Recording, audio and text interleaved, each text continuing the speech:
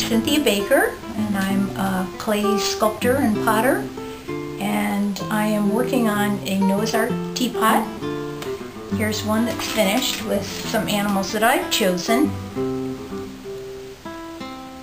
I'm offering a personalized teapot with your own animals, animals that you choose.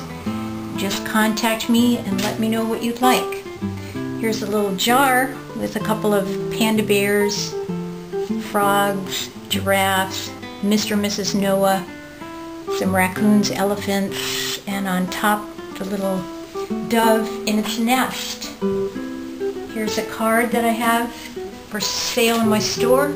I also do personalized paintings of Noah's Ark with your family and your favorite animals. I've done dogs, birds, farm animals, endangered animals, whatever you'd like.